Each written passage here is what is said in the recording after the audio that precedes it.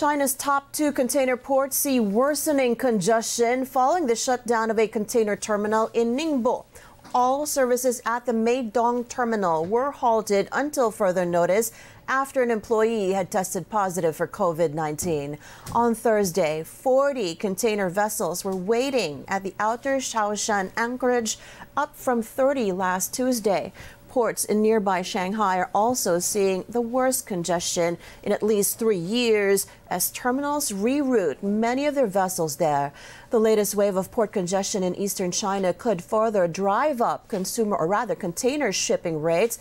Experts say businesses should already act on making contingency plans for the holiday season, warning retailers may struggle with availability of stock and volatility of costs.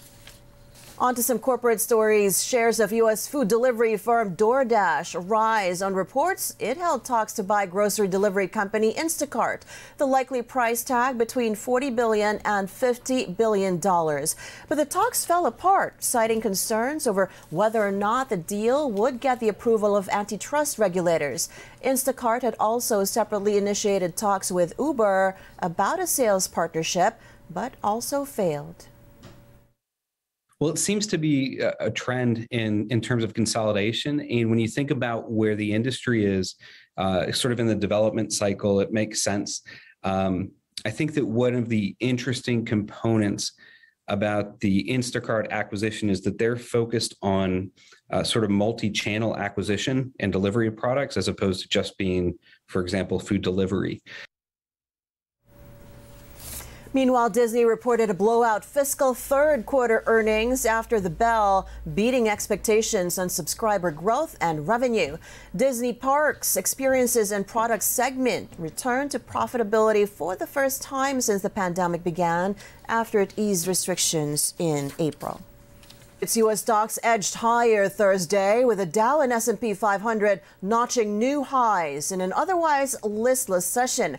This is the third straight day that the Dow and S&P closed at records, but the Nasdaq outperformed with mega cap tech stocks driving the market higher as investors cheered jobs data showing a steady U.S. economic recovery. The number of Americans filing for unemployment declined to 375,000 last week, in line with expectations, but there are still fears rising coronavirus cases in the U.S. caused by the Delta variant could slow employment recovery. A separate report showed U.S. producer prices increased more than expected in June, suggesting inflation could remain high as strong demand fueled by the recovery continues to hurt supply chains. We've had a significant run up in the economically sensitive cyclicals. They've done very well since the Senate passed the infrastructure bill. They've done very well since both the jobless claims and the non farm payroll numbers came in stronger. And they've certainly done better as the yield on a 10 year went from a low uh, last Wednesday of 112 to 135. And I think it's a much healthier place to be. I think after that run, we're starting to see some nibbling around those underperforming sectors like technology again, which has underperformed over the last two weeks. And I think that's okay. I think the good news is the breadth of the market continues to expand. It was getting very narrow when we only had technology leadership. So now we're seeing some more sectors participate in the rally. Taking a look now at U.S. stock futures, the major indices pointing to a muted open when trading resumes tonight, Manila time.